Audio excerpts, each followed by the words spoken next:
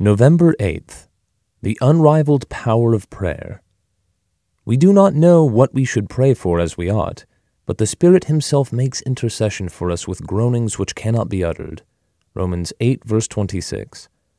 We realize that we are energized by the Holy Spirit for prayer, and we know what it is to pray in accordance with the Spirit, but we don't often realize that the Holy Spirit Himself prays prayers in us which we cannot utter ourselves.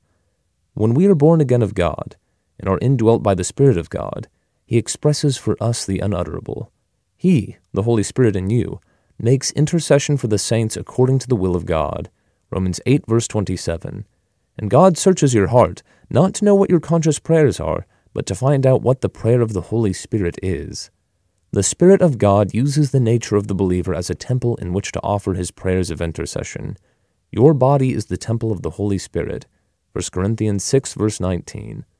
When Jesus Christ cleansed the temple, he would not allow anyone to carry wares through the temple.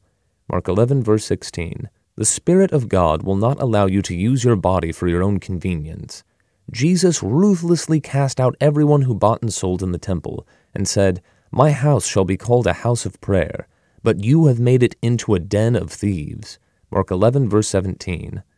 Have we come to realize that our body is the temple of the Holy Spirit? If so, we must be careful to keep it undefiled for Him. We have to remember that our conscious life, even though only a small part of our total person, is to be regarded as a temple of the Holy Spirit.